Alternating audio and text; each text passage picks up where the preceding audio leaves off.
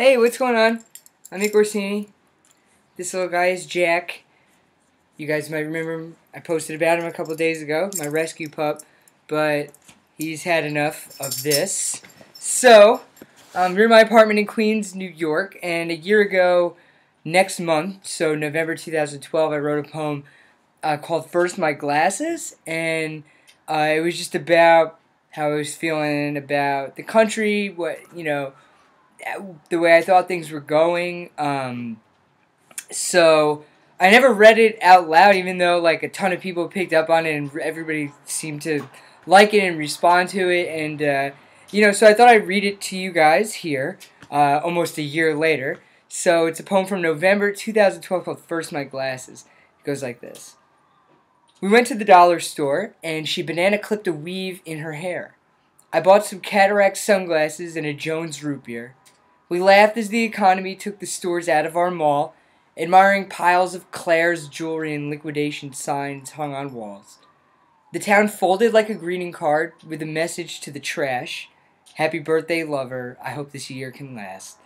In a winter wrapped in woolen buttons, we watched the signs blow loose. Snow came down and pooled the outline of the hollow letters tomb. The movie theater put up a note Thanks for all you've done. Sorry, but our lease is up so the last showing has been shown. And every kindness felt surface shallow, just a futile, happy face. Me and my girl still did laugh at how we'd spent our days. One last trunk full of sweaters and video games, and I closed the door on this chapter, first my glasses, and then my shades. I was a poem called First My Glasses know, for last November, which is insane. Anyway, thank you guys for hanging out on Adorkable. Um, I know you know that you can hit, hit me up on Twitter whenever you want. Um, write to me on uh, this site, the little Ask Me box over there. Um, books for sale. They're super cheap. It'd mean a lot if you bought one. Um, I have a new book coming out called The Mega.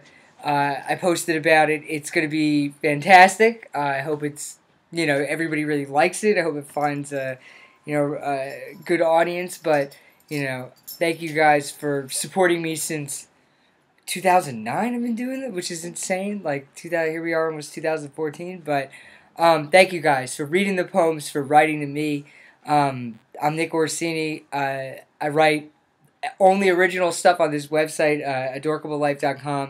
It started off, uh, I had no clue what I was doing. I didn't know anything about poetry or books or anything. And uh, you guys have been learning with me, so thank you for, uh, for sticking it out. All right, and I will talk to you all very soon.